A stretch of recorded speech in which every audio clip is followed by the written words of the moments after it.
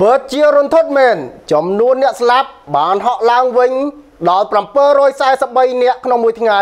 ដោយសារ COVID-19 នៅអ៊ីតាលី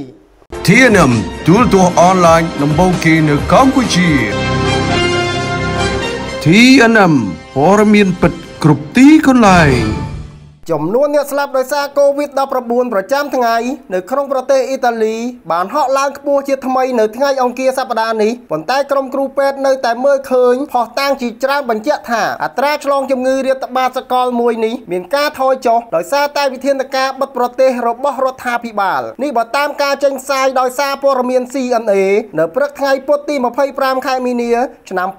2020វិធានការរដ្ឋបិទនានារួមទាំងការបិទប្រទេសនឹងត្រូវអស់សុពលភាពនៅល្ងាចថ្ងៃពុធនេះមកនៅអ៊ីតាលីប៉ុន្តែរដ្ឋាភិបាលអ៊ីតាលីត្រូវបានគេរំពឹងថានឹងបន្តអនុវត្តវិធានការទាំងនេះមួយផ្នែកឬក្រមទម្រង់ផ្សេងផ្សេងសម្រាប់រយៈពេលជាច្រើនសប្តាហ៍ឬក៏ជាច្រើនខែខាងមុខក៏ថាបានអ៊ីតាលីមានអ្នកស្លាប់ដោយសារ COVID-19 743អ្នកបន្ថែមទៀតនៅថ្ងៃអង្គារហើយវាជាចំនួនហក់ឡើងខ្ពស់វិញជាថ្មី បន្ទាប់ពីបានធ្លាក់ចុះ2ថ្ងៃជាប់ជាប់គ្នា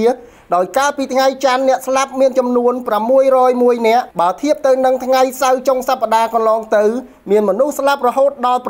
793នាក់ឯណោះតែទោះជាបែបនេះក្តីអត្រាឆ្លងថ្មីដែលត្រូវបានចុះបញ្ជីជាផ្លូវការមានត្រឹមតែ8%ប៉ុណ្ណោះដែលនេះគឺជាកម្រិតទាបមួយ ចាប់តាំងពីអ៊ីតាលីបានរាយការណ៍ ពីករណីស្លាប់ដំបូងកាលពីថ្ងៃទី21ខែកុម្ភៈពលគឺអត្រាឆ្លងប្រចាំថ្ងៃធ្លាប់បានឡើងដល់កម្រិត50%ឯណោះកាលពីដើមខែមីនាគិតត្រឹមយប់ថ្ងៃអង្គារសប្តាហ៍នេះអ៊ីតាលីមានមនុស្សស្លាប់សរុប6820នាក់ក្នុងចំណោមករណីឆ្លងសរុប69176ករណីខណៈអ្នកជំងឺសរុប8326នាក់ហើយបានជាសះស្បើយទាំងស្រុងខ្ញុំបាទសំណាង ពីទូរទស្សន៍អនឡាញ TNM ឆ្ងាញ់ណាស់កូន T-Base Aloe Vera សម្រស់ស្រស់ស្អាតសុខភាពល្អ